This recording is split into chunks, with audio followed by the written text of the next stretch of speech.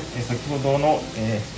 重曹を入れてからだいたい弱火で2時間から3時間、え、炊いていただきますとこのように水も少なくなってきます。でまあもうちょっとこのまま煮詰めていくんですけどもこのぐらいだったら砂糖入れていきますね。砂糖はもう本当本来お菓子屋さんのやり方ですと砂糖を水に溶かしてから入れるっていうのもありますけどもうあの普通に入れていただいて結構です。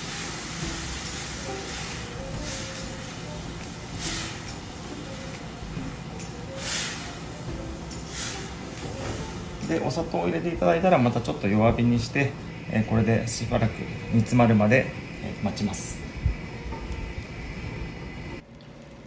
それ大体さっきお砂糖を入れてから20分ぐらい混ぜながら、え詰めてきて大体このような形ですね。ちょっと画面通してと分かりにくいかもしれませんけどおつゆがちょっとあるかないかなってぐらいそしたらもう最後